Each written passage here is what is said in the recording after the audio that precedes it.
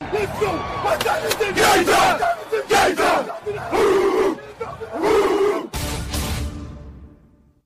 It's gonna be a football game tonight now. No doubt. It's gonna be a football game here. Okay. I, I done been here before. All right, let's go, baby. Play clock at five. Pass is intercepted at the goal line by Malcolm Butler.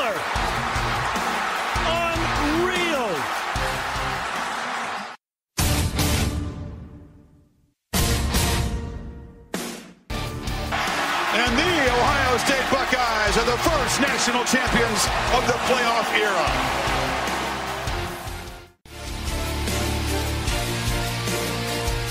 Ladies and gentlemen, football to futbol. Your host, Sean Garmer, Gary Vaughn, and Randy Isbell. Hello and welcome to another Football to Futbol. And uh, this one's pretty simple once again. We are going to be doing the Broncos offense against the Carolina Panthers defense, and then of course we'll give some kind of overall thoughts about the game and our predictions, of course, uh, since the game is about uh, two days away from when we're recording this. And we'll also talk about some NFL news since Johnny Manziel just cannot stay out of trouble. And we've got a certain Colin Kaepernick that wants out of San Francisco after everybody lauded the fact that now he'd be with a quarterback that would play to his strengths. So, and we got a few other uh, news tidbits there. It was signing day. We're not going to talk about that because, really, come on now. Um, anyway, guys, it's been a couple days. Uh, anything going on? Gary? Uh, you know, uh, just hanging out uh, around the house, trying to protect it from Johnny Manziel. Um, besides that, uh, you know, just kind of doing the normal thing, working and uh, keeping it real. Wow, I'm glad you keep it real there, Gary. Yeah, me and Dave Chappelle. No, I am just like the NFL, just kind of biding my time for Sunday. Yeah, same here. Um, I don't have to work Saturday from the looks of it. I do have to work later today, and we'll have to see about Sunday, but I'll be able to watch Super Bowl live. And we are doing the post show at some point early Monday morning or Sunday night or whenever the hell it is we're doing it. Right? Mm-hmm. Okay. So yes, uh, we will not be around on Monday night as usual. We'll be around Sunday night, sometime after the Super Bowl, to discuss what happened, and then you won't see us again until that next Thursday, or maybe even that next Monday. I don't know yet. Uh, depends on how fast you want to get into talking about the NFL draft. Uh, but uh, yeah, so let's start, I guess, with the story that's been prevalent all day. My phone has not stopped alerting me about every constant change in the story. Uh, there is uh, apparently an altercation that happened between Johnny Manziel and his girlfriend. This is not the first time these two have had an issue. Uh, if you remember, they had an issue in a when the car when a uh, their car was stopped at one point. They were arguing in the car, and apparently uh, there was a report that Manziel had been drinking, but apparently he had not at that point. Uh, who knows what had been going on here? All we know is that apparently uh, she is claiming he hit her multiple times, that he dragged her by her hair to the car, and Dallas and Fort Worth police have decided to not press charges and uh, close the case uh, as far as criminal charges go. I'm sure the NFL will do their own investigation as they usually seem to do in these sort of things. Mean, when you hear all this stuff, I mean, just like this is just nuts, right? I mean, Yeah, it is. And, you know, being local area you're speaking of, um, I'm a little bit surprised that they're just pushing this out of the way, just saying, oh, well, you know, don't worry, you know, nothing's going to happen out of this. You know, you guys worked it out. We're not, you know, going to press any charges. She's not pressing charges. I, I don't know. How, the only thing I could think of is this goes back to what I've said lots of times before about Johnny Manziel and his family. Um, there are ties to connections to uh, a world. Let's just you know, let's just say it this way. Um, you know, uh, the gambling and things like that are not far from these people because they have money, maybe not by the right means. Uh, so they probably pay off to the right people. They probably have city council um, to pay off, and uh, that's got to be something. Because how can this guy get away with it? I mean, Texas is really hard. Uh, they're one of the tougher states on the laws, and for this just to go away out of nowhere, we we don't know if she chose not to press charges either. Eh, But yeah, exactly. But you know, she, you know, may have had the reasons not to. I don't know. Uh, but I'll be honest with you, Joseph Randle got arrested uh, not long ago, two three days ago, probably around the same time. So they may have been more concerned about Joseph Randle than Johnny Manziel. Well, I don't think he even got arrested in Dallas when the, at the old girlfriend's house, which is like in Kansas or something. Nope, it's in here. It's Irving. Okay, well, and apparently he was uh, he was let go from the team because of gambling on sports. Apparently, is what uh, the word was. Uh, yeah, that, that, that's the word they put out there. That's PR. Yeah, That's that's that's what they're gonna say. right. Uh, you know, they don't want to say it's for other things, of course. Uh, Randy, I mean, what do you think about this uh, Manziel thing? It's such a mess. I mean, especially you hear this story and it's anyone else. It, it's always obviously bad news. But I mean, you also have to think about it. We have to wait for all the facts to come out. I mean, like you, Sean, my phone blew up. Just, just different details coming in left and right, and then changing, and then, and then it was, you know, they weren't going to tr- file any charges, and everything was dropped, and everything moved on, or whatever. But obviously, with the NFL, it's going to take longer, and Manziel is just a lightning rod for this kind of stuff. So this is going to be talked about for weeks after the Super Bowl. Uh, but listen, here, here's the thing. Obviously, I'm one of those people that thinks Johnny Manziel has no place in the league, especially right now. With, I mean, he is just not mature enough to be a, a starting quarterback or backup quarterback for that matter. He just can't seem to keep his nose out of trouble, and it just seems to be getting worse and, and escalating to just effects that just make you uncomfortable. But the thing that worries me and why I think that Manziel not only will be in the league next year, but will might even be starting somewhere, is just the fact that mean it's it's it's the Greg Hardy versus Ray Rice situation.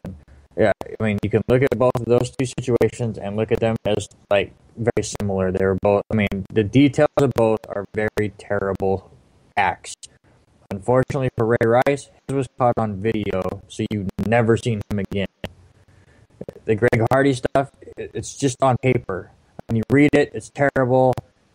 Okay, give him suspension. Everyone's everyone's now moved on. This is going to be the same thing with Manziel. Until you see him punching his girlfriend in the face on camera, it's just going to be let go. But the moment, I mean, videos just seem to be s- so much more um, impactful to the mainstream audience of this kind of stuff. So, uh, I it's a terrible situation. It's going to be something I'm going to be really annoyed to talk about over the next few weeks as different details come out and the NFL responds and, and all of that. But most, I see a, a couple game suspension for him. Nothing crazy. Is that what you think too, Gary? Or? Yeah, th- there'll probably be something around there. You know, they'll bargain it down uh, to that, and you know, it, it's a sad situation that this guy continually messes up, and somehow, some way, he's being protected. I really think this guy needs to be uh, away from football for a year, uh, if not more. If he wants to go play in a Canadian football league, play in another football league somewhere else, that's at his discretion. But I, I don't think the money's good for him. I definitely don't, and I don't think the attention's good for him either. I think he needs to be humbled, and that's the best way to kind of put him down to where he understands. Hey, you know, I, I'm one foot out the door already. So I want both feet out the door. And if he doesn't get this figured out, and if the NFL doesn't put him out, um, he's going to walk himself out. He's just on that cusp, but no one's going to take him.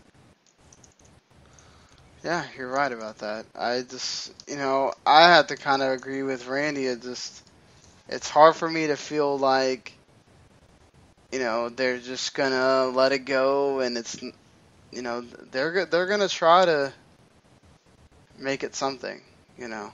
Mm-hmm. Uh, just, you know, they are. Uh, so, I would not be surprised at all here if it continues. And next year, we're talking about Johnny Manziel playing for a team or being a backup for a team or whatever, because you know what's going to happen. Mhm. And it's sad and whatever. He needs to have a year away to think about all this stuff. Be be clean the whole time or whatever the equivalent to that is. And you know, just grow up a bit. That's that's the number one thing. Grow up a bit. Mhm. I just I'm like Randy. Just I do not want to be talking about this thing. I don't want to be talking about this all off season. I'm really am. They're going to release him in March. Apparently, they have already decided this that they're releasing him in March. And oh my God, I just really hope I don't hear about uh, the the Cowboys trying to sign him. I just I really don't. I'm scared that that's what we're gonna get. I'm scared that we're gonna hear about this, and they're gonna t- still talk about Jerry Jones trying to go get him and stuff, and it shouldn't be that way. Yeah, You know, they're trying to talk him into it. You know, not, not today. I'm not talking about Jason Garrett. I don't think Jason Garrett wants any part of Johnny Manziel. I'm talking about the family. I'm talking about people who are close to him. Uh, are probably over there because they're local to this area, and they probably have connections with them. And so, his name is going to be out there. But uh, I just don't know if I'm going to buy it. I, I think we're looking at a different situation. I mean, I, I, I could even see a Buffalo before I could see Dallas. We'll have to see. you Talking about another quarterback that apparently uh, this the team doesn't want him to get out, but he wants out of San Francisco. Apparently, he does not want to play for Chip Kelly, even though you could argue that perhaps Chip Kelly might have gone there with Colin Kaepernick in mind. I mean, we don't know that. He could have just gone there because San Francisco has a great draft pick, and he might like one of the quarterbacks that are in the draft. Uh, you know, let's let's just talk about this from a situation of wanting to leave San Francisco. Before Chip Kelly came, he was the word was he was going to get traded, or even possibly released because they didn't want to have to pay for a salary and and all that. I mean, what do you what do you think about this now? Like, I, I don't see what I don't see what Colin Kaepernick is going about. I, it, it doesn't make any sense for me. I think obviously his time in San Francisco has kind of gone downhill. Um, uh, Jim Harbaugh really was a big fan of him, and then when they get rid of Jim Harbaugh, obviously like favor has just just fallen off for Colin. So I, it might even just be more of a front office thing, the Chip Kelly thing. Like I don't remember. I haven't seen his full like interview about the situation. I mean, so it could be that. But if I'm Colin Kaepernick, I'm excited to play for Chip Kelly because listen, Chip Kelly as a general manager was a little rough in Philadelphia. Uh, he used players as pawns instead of human beings, and obviously that rubbed people the wrong way. But as far as you know, coaching goes, I thought he was fine, especially with the quarterbacks. Look at some of the numbers that Nick Foles had under under Chip Kelly in Philadelphia, and then he goes to St. Louis and he's terrible. I mean, Sam Bradford wasn't that great, but was he ever? And he even made Mark Sanchez look okay. So I think you let Chip Kelly coach Colin Kaepernick and open up that style of offense. I think it would work out for him, and then you know he gets that big deal he's looking for. Yeah, I mean, uh, t- Colin Kaepernick, uh, to me, may have some other ideas on what his future is going to look like, and maybe he thinks that his best option is to find a way out of San Francisco now and get his you know self in a place where he feels more comfortable. But I'm kind of with Randy on this. I, I think that Chip Kelly is a guy that he should really consider talking to, get in and, and really look and see what he has planned for you and uh, see if it's what you really want. I think it is. I, I think that, you know, if you're Colin Kaepernick, you're happy because you're going to Chip Kelly's number one guys. And so, um, I, I don't know. I don't understand this completely. I haven't actually read any of the comments out of uh, Kaepernick's mouth. So, I'll have to uh, read them and really get more defined on that. But right now, I'm just kind of uh, misunderstanding why he wants out. Yeah, that's kind of where I'm at right now. I mean, you'd think that you know, knowing the history that kind of what everybody kept talking about during the season, and we talked about it that what was missing from that Chip Kelly offense was a uh, a running quarterback, and now he kind of would have that with Colin Kaepernick, and if you maybe have a you know Chip Kelly kind of help him with the uh, with throwing mechanics and, and whatever, and he can use he can run the ball a bit more because that's something that Kaepernick uh, or Chip Kelly's going to to sort of go for there, and it's it's just weird. It it seems a bit weird. I can understand him also maybe looking at his team and saying, okay, well my team's obviously not the best. I mean, I don't blame him for saying what he said about wanting to go to the Jets, which was a team that was sort of bandied about when the uh, initial trade rumors were going around that it might be a team they could be looking at. Now, Brandon Marshall has come out and said, no, we don't want him. We're fine with our quarterbacks, even though uh, the ownership has went out and questioned Geno Smith's uh, heart, which uh, that's never a good thing. But what do you think, Randy, about Colin Kaepernick coming to your team as a backup, obviously? That's that's the thing too. You might start in San Francisco. There's nothing that that you're gonna have to unseat Fitz, uh, Ryan Fitzpatrick, and that's gonna be hard to do. No, I don't want it. I don't want it at all. You you sign him as a quote unquote backup. It's just going to be one of those situations where the moment Ryan Fitzpatrick throws an interception, the crowd is the the the fans are going to start wanting Kaepernick out there. I, I think the Jets right now have a situation that they're not used to, and that's a decent quarterback structure. Like, I'm still like, don't get me wrong. I'm not saying Ryan Fitzpatrick is the answer or that he's going to lead them to the Super Bowl, but right now you have a, a, a semi-veteran quarterback who can get the job done. You have Geno Smith, who, yes, I'm sure his heart's not in it because he never envisioned himself as a backup. He is a backup who has time as the starting quarterback. So, say Ryan Fitzpatrick gets injured next year, you can throw him in there. And then you have the Aaron Parrott and Bryce Petty as your number three guy. I, mean, I have no idea if they still think he improving or whatever through the whole year, but they drafted him last year to possibly be the guy in a few years. So you have the perfect structure. Structure. You have a decent quarterback. You have an okay backup, and then you have the future waiting back in the wings, learning. Throwing Colin Kaepernick in there is just doing the old.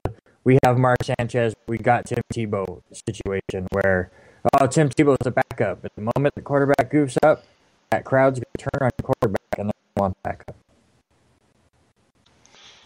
Yeah, uh, very true. Um, you know, this is, uh, I mean, this is just kind of crazy. Like, Gary, I mean, what do you think?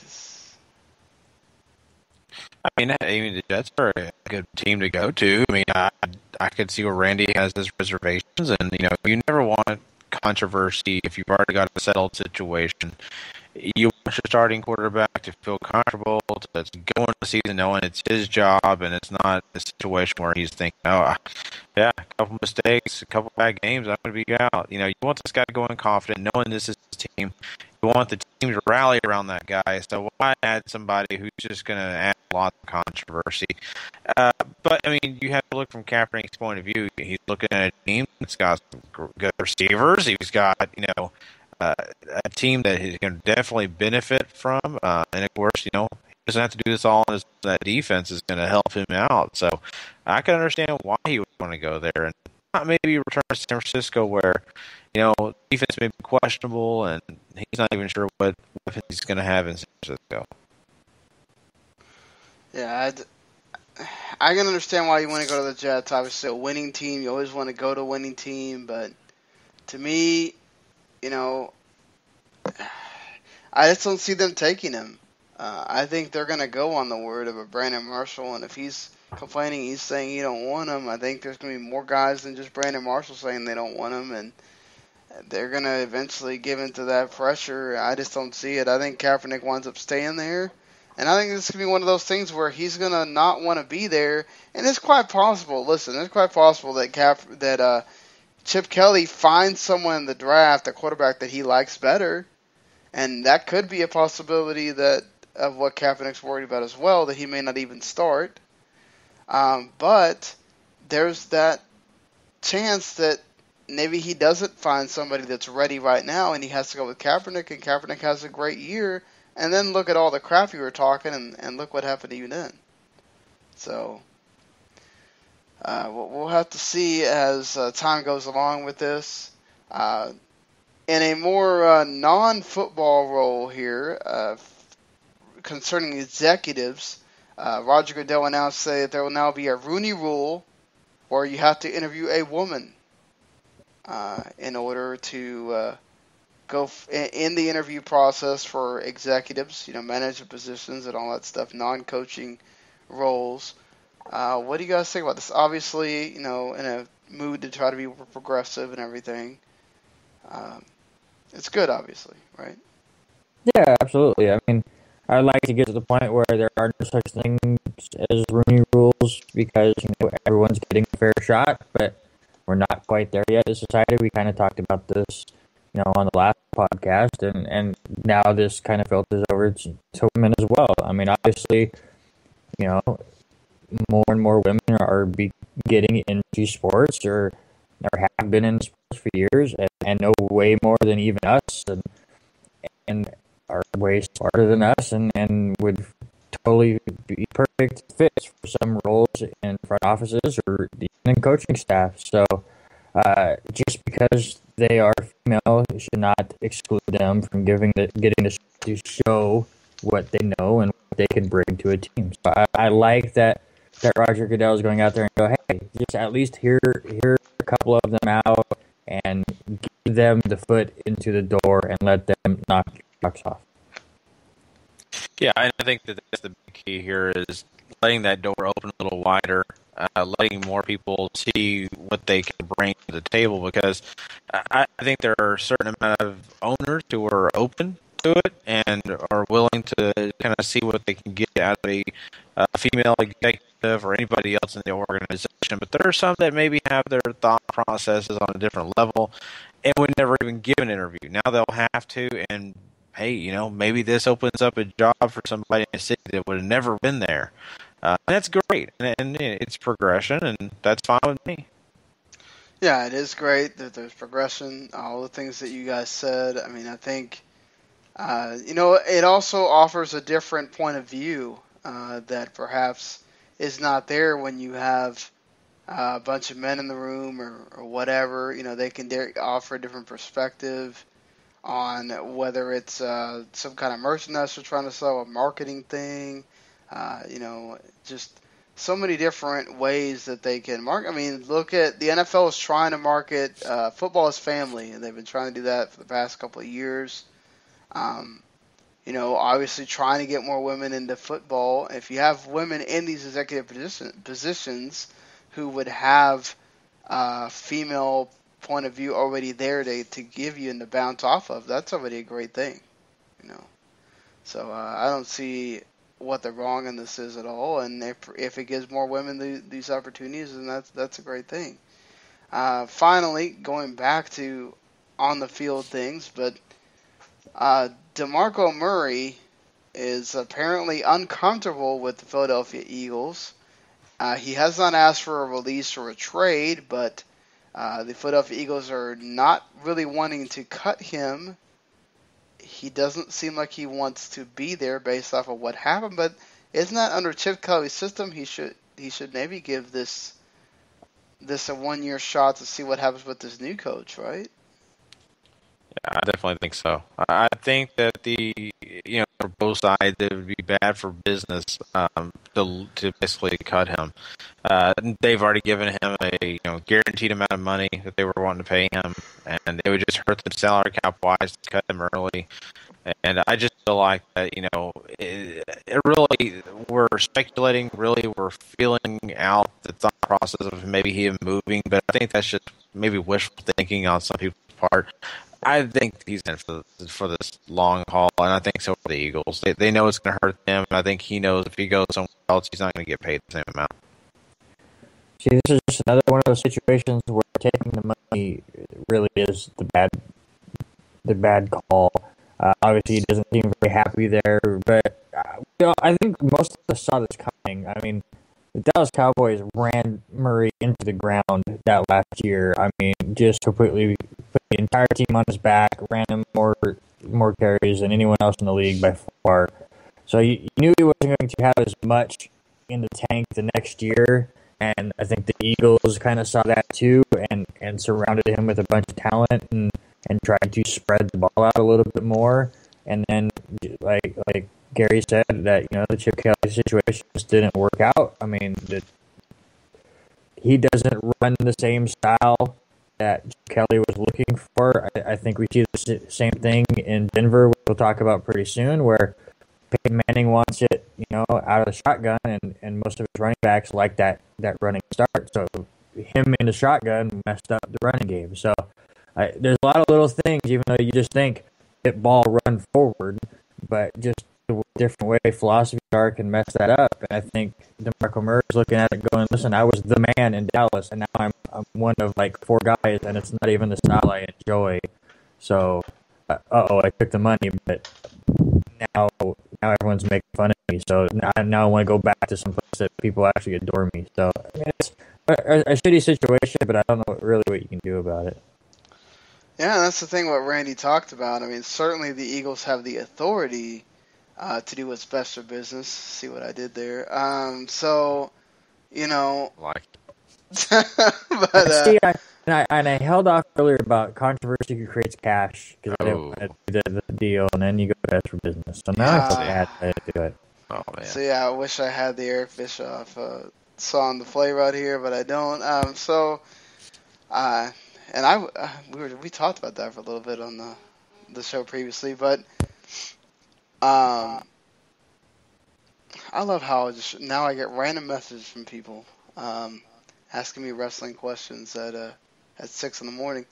Uh, but uh, anyway, Dez uh, Dez Bryant is on record asking DeMarco Murray to come home.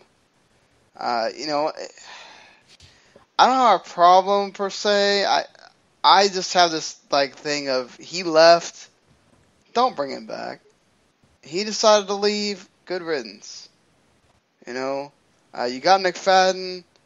Uh, you know, all biases aside, he did just fine. That you have no guarantee that Murray's gonna come back and be the same guy.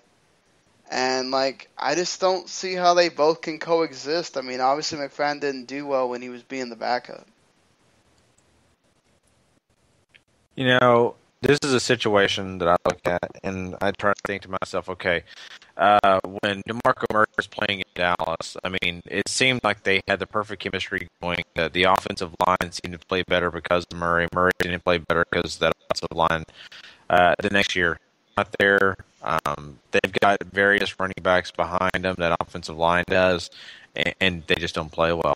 Uh, they don't seem to have that same well-oiled, greased-up running game that they did the year before. Uh, so that's the problem. And is it going to come back just because shows back at Dallas? I don't know that. And that's not a guarantee. And not only that, Randy just pointed it out. Dallas ran this guy into the ground, and this guy hasn't gotten younger just because he went to the Eagles. There was no of youth there. He's another year older. So I think that maybe Sean, you're onto something here. I mean, as nice as it is to dream that this guy comes back and is that same running back we saw in 2014, uh, I, I would rather go get a rookie, go get somebody else who could do it, or just stay with McFadden. McFadden didn't do terrible. What do you think about the uh, Murray going back to Dallas scenario that Bryant won? I I don't see it. I'm, I'm with you, John. Whereas, like, listen, he left, uh, so just time to move on from all parties. Uh, I mean, DeMarco Murray had a, a great year or two, but I don't think you're going to look at him and go, he's one of the, the greatest Dallas Cowboy running backs of all time. I wouldn't put him anywhere in those kind of classes. So it's just one of those things.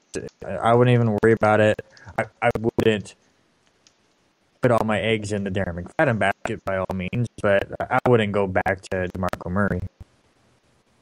No, obviously you need to have guys uh, behind McFadden that you trust. That if McFadden goes down, who I mean, this was his healthiest yeah. year he's ever had. Yeah, but, or they win. When yeah. McFadden goes down.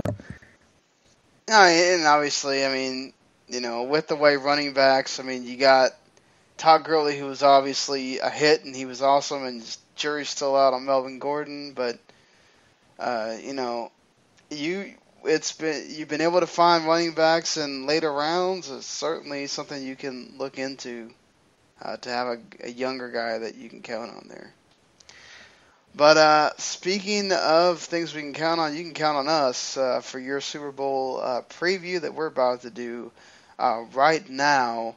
Uh, you know, we did part one on on Monday, and we're going to do our part two here now. So let's look at the Broncos offense against the Carolina Panthers defense.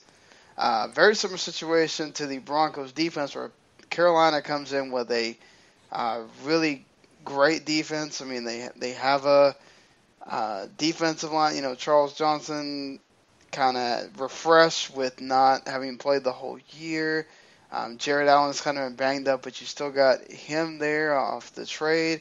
And then where they're really good is at the linebackers with Luke Kuechly, of course, being your your brain there in the middle, and then Josh Norman, of course, who's been terrific in the secondary, kind of leading that that around.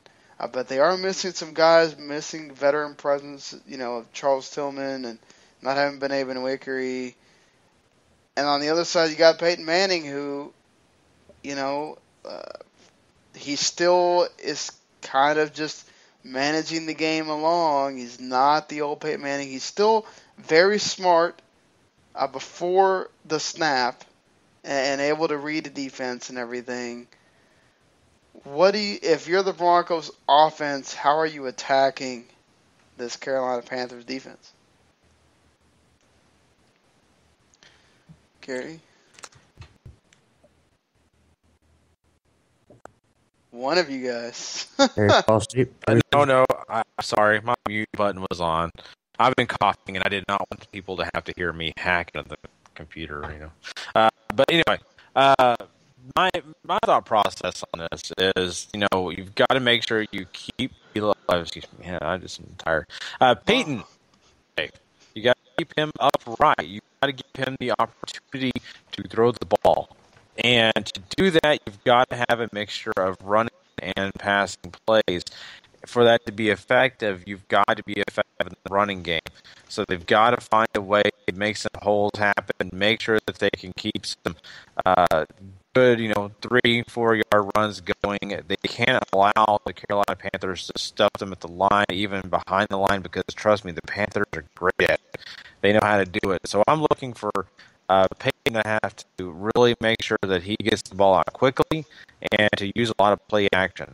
Uh, I think that's going to help them. That's going to give them an opportunity. Even if he's in the shotgun, he's got to fake it and, and get, you know the illusion that the running back's going to take it. Um, I think that's a good way to kind of keep these guys from rushing too much at times, uh, and it's also going to keep some of these other guys like Luke Kuechly honest and make sure that they don't try to get in the backfield as much as they want to. So. I, I think Gary is pretty close to what my idea is for what Denver needs to do in this game. And, and really, I think all of us believe that the only way Denver can win this game is if the running game gets going. And, and you know, they can run it all over Carolina, which is way easier said than done. I mean, Carolina's defense is stout. Uh, but I really think if you're Denver, you go out there on your first drive or two – and do a couple play passes. You do a couple screenplays. You take uh, the aggressive nature of Carolina and use it against them. I, I think that's something that Seattle and Arizona did not do in the playoffs. You know, they allowed Carolina to run in and disrupt the passing game instead of going, "Oh no, they're bringing nine guys." Oh look, I dumped it over their heads, and we're going to make a big play. I think you know, you you cannot play towards Carolina's strength. take Carolina's strength and use it against them. And Peyton Manning is one of those guys that really can do something like that.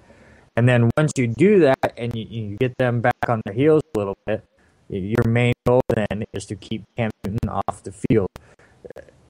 Because you, I mean, we talked about it again on Monday where Cam Newton and that offense works so well when they're going downhill. When they have momentum, you know, when they start doing the first down dances and having a good time, you're over. Once Cam Newton starts smiling and, laughing, it's over.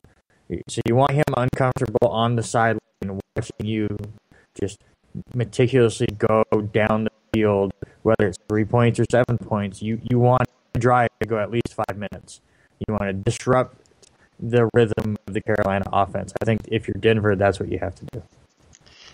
Uh, you guys both bring up good points, but I think one of the very important things that you have to make sure of is Peyton Manning is going to have to kind of play the way he's played the last uh, in the two games. Is you have to play mistake-free football.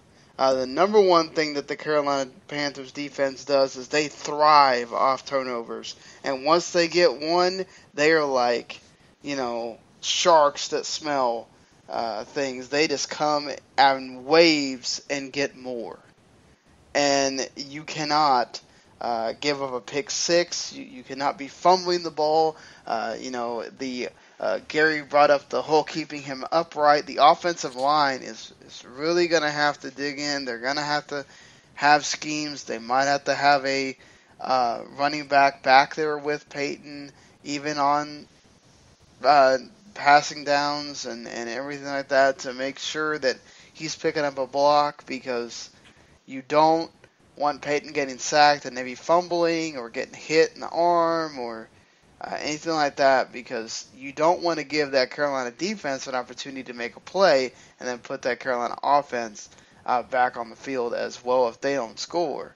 Um, you know, and and that's and, and another thing that the uh, Peyton Manning has had issues with is his receivers dropping balls.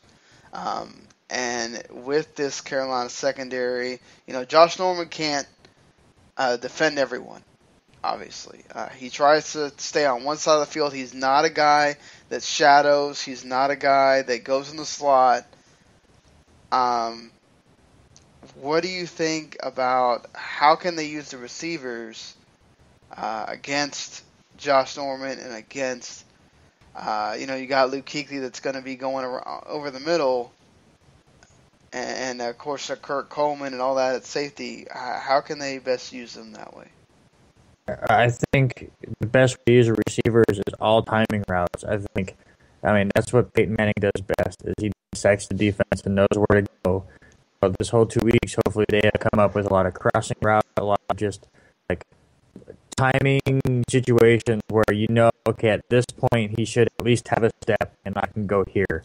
Uh, not going to beat Carolina deep with Peyton Manning's arm, which is again what I said a couple weeks ago, where I thought Arizona Arizona had a shot to beat it because you could beat Carolina deep. Peyton Manning can't do that, so it's all going to be about the short passes and and just the quick get offs, and the receivers of of course have to catch the ball, which is something they haven't been able to do lately. Yeah, and, then, you know it's a great point because I was you know talking about this the other day. I mean, this team has been so up and down when it comes to the receivers deciding they're going to either have a great game receiving the ball or they're going to drop them every you know all in one game, and they can't afford for this game to be the drop game. Uh, but the other thing is, is you know another thought process on Peyton getting the ball out is, you know, maybe giving some quick slants, uh, some definitely some things to the outside towards the sidelines, and, and I don't uh, think that you can be afraid to give a few screen passes. I think some screens could work here. Um, you know, I, I know Carolina's defense is very fast, but if you can find a way to do it, if you work on it in practice, uh, it may be a good way to give your receiver a chance to maybe escape some pressure quickly and maybe get a home run. So, uh, because if you can get away from the first wave, you you might get a chance to get out there and uh, maybe go 60. Uh, so I don't know. I mean, this is the thing. Randy's already pointed it out. I think a lot of people understand this. This Panthers team is built on hype. Uh, they really want to get going. They want to be the ones on top, and they want to be uh, with all the momentum. And the one way you can really hurt them is to do clock management, to really grind the clock down, to get to the second quarter to be three to three, things like that. Really get this team to start thinking. If they start thinking too much, that's when they may start making mistakes. If you know they're doing well, they're not going to think, and you're the one thinking too much. So. Yeah, I think uh, you know you have a uh, this receiving core that certainly you have speed. You have speed in Demaryius Thomas. You have speed in Emmanuel Sanders. Those guys can get deep. We've seen Sanders do it, and we've seen Peyton Manning. He can get it there a couple of times, maybe three or four times a game. But you you've got to know, and Peyton Manning's smart. You just got to know when to take that shot. But most of all, the ball has to be there, and uh, you have to make sure you catch it when that opportunity is there because if you don't, as Randy said, exploit those uh, opportunities, they're going to just slam you down on the, the crossing route. They're going to slam you down on the slant route, and then it's going to be very difficult for Peyton Manning uh, to get that ball out. And eventually, you know, the lanes are going to get clogged, and you're, you're not going to have anybody to, to throw to. And I and I look at a guy like Vernon Davis, who has been just absent in these last two games here in the playoffs, he's got to step up and be that second tight end that you you you brought him over for. Uh, you know what Owen Davis can give you, whatever, but Vernon Davis is a guy that can change the game when he's on. Uh, he's still a very good caliber tight end, and you want to give uh, Peyton Manning as many outlets as you possibly can uh, against that defense if you're limiting him to, you know, n- not that you know Bennie Fowler and Caldwell and all of them have been capable with Peyton Manning, obviously, but if if you got uh, Daniels and Davis with your tie, two tight end sets coming out there where you can make them think it's a run, you go on play action, and Vernon Davis can can run a, a little post to the outside or or just you know get you across around, it it will help so much.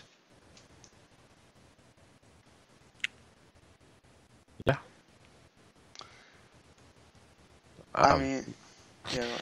I, I, you know, I think you know we've kind of hit a few of the points, and I just want to say this. You know, we are talking about the Broncos' offense. That this Panthers defense is uh, a defense that swarms. I mean, they do a lot of things right. That's why they're where they're at. That's why they have the record they do. Uh, so, I mean, you just got to be aware uh, of where those guys are at, and um, they're definitely where we're at. They know exactly how to get to the ball. They know uh, how to exploit things. And so, I mean, I think it's going to be very interesting. I, think that this Panthers defense is definitely going to give uh, Peyton Manning a run for his money.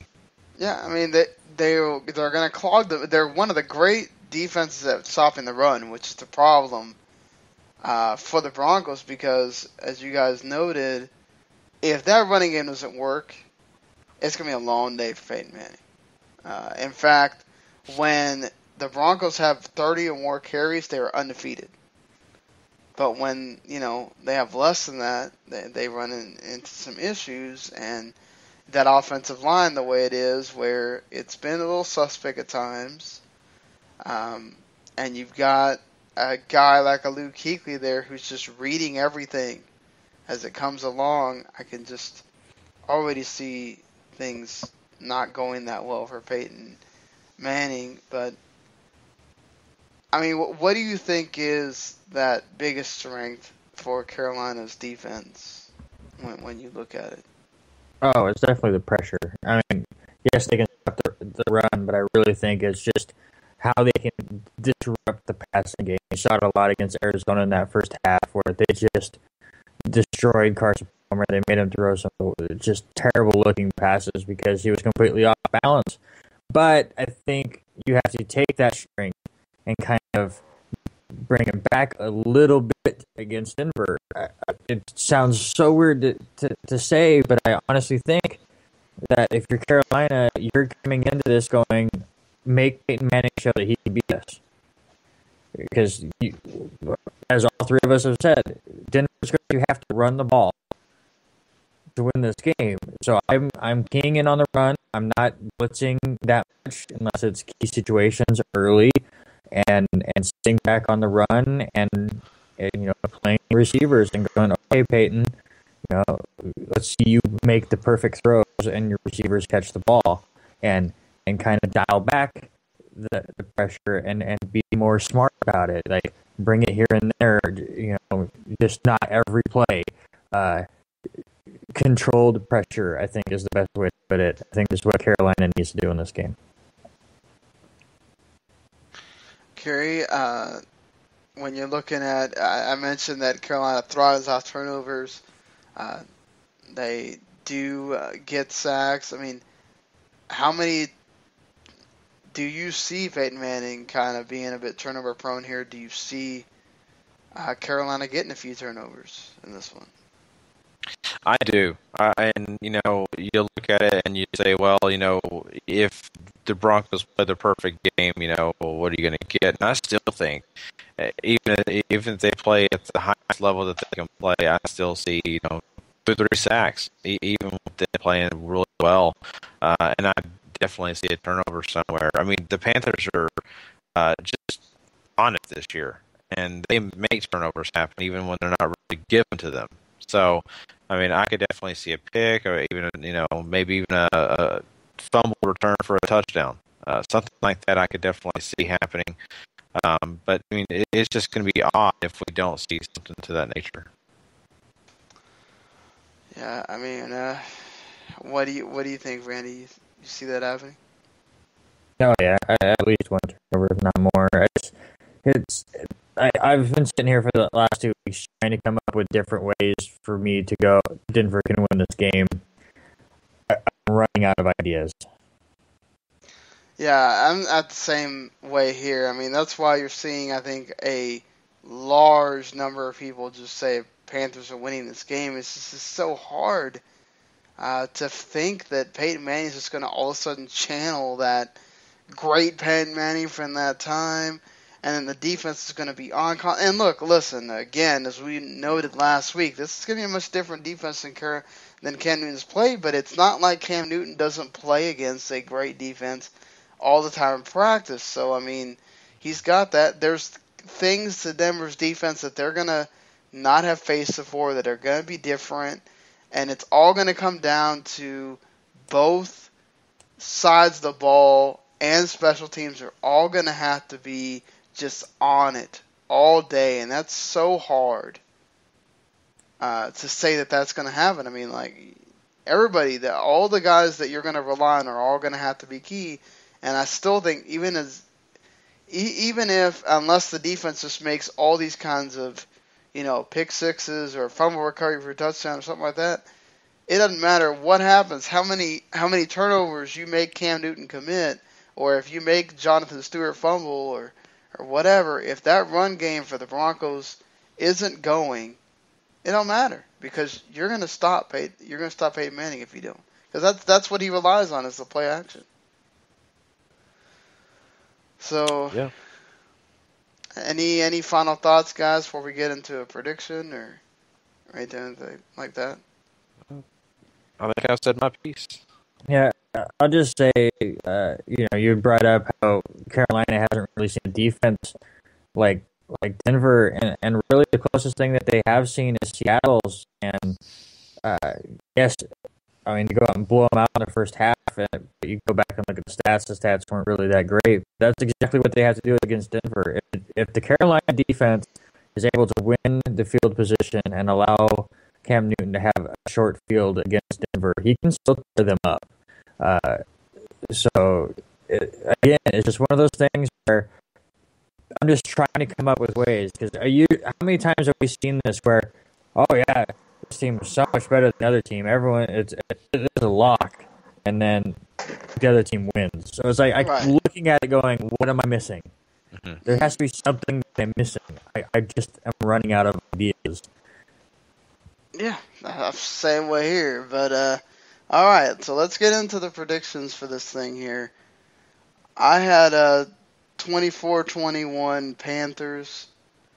Um, I had them initially losing to the Cardinals. The Panthers are the ones that made it here. I don't see a reason why the Panthers don't win this thing. I think it'll be close, but ultimately Peyton falls a bit short. Uh, you know, I'm looking at this game as a 27 to 10 uh, Panthers victory. Uh, I think when you're looking at this game, I think that really the, Broncos are going to try to fight hard to get yards. They'll get yards, but they won't be able to punch it in at times because I think Carolina is just going to stiffen up too much on their defensive side.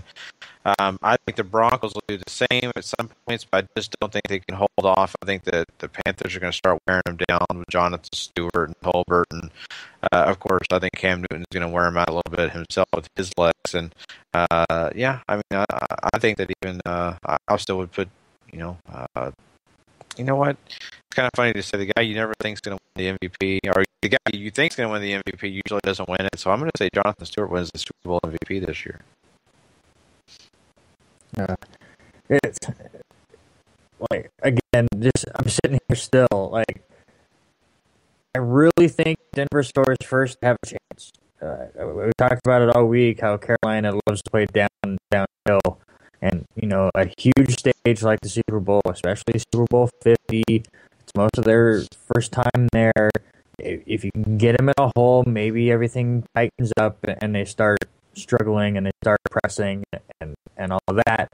Something just tells me I mean, Carolina's talent is just just too good. Cam Newton absolutely loves the big stage, and you're not going to get any bigger stage than this. Uh, I really think that they're. Mean, from everything you've seen this week, they seem loose. I mean, it's going to be a whole different story come Sunday, and they get on that field and "Oh my God, it's now time." But everything I've seen shows that they're very loose still, having a good time. I think they go out on that field and they want to prove all of the doubters wrong. They want to to look at all of the old men that don't like the way that they play or how cocky they are at times and shove it right down their throat.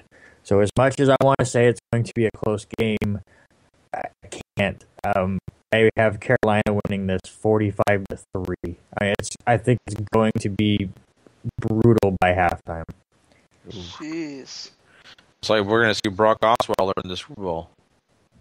It's, it's highly possible. I just, just everything I look at, it's Denver would have to play a perfect game, like the, slowing the, the pace down, you know, completely getting Carolina off rhythm, and even then, I still think Carolina would probably win the game. So I, I think Carolina scores early, and then it's just it snowballs from there. Wow.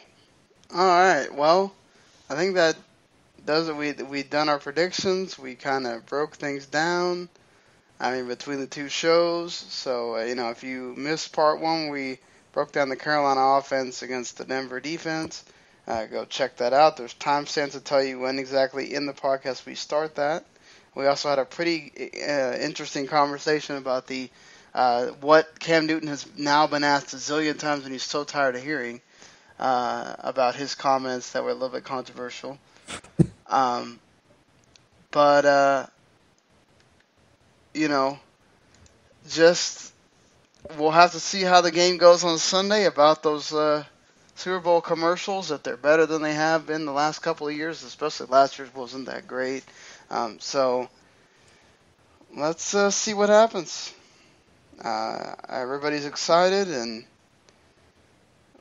uh, the ratings. See if they can break break those from from last year. But all right, well, if uh, you enjoyed what you heard here, you can subscribe on iTunes, T- Stitcher, TuneIn, wherever there are podcasts.